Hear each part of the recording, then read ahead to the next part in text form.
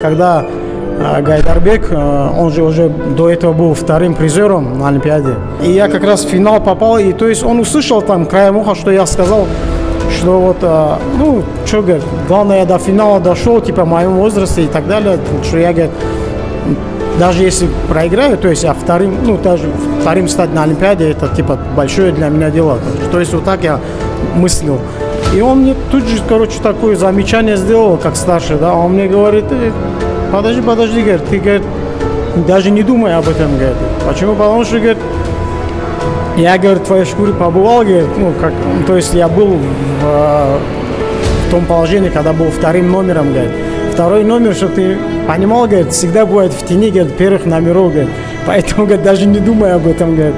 И на самом деле, я когда задумался, я так как бы, я не думая так это говорю, я понял, что это такой шанс выпадает там очень редко.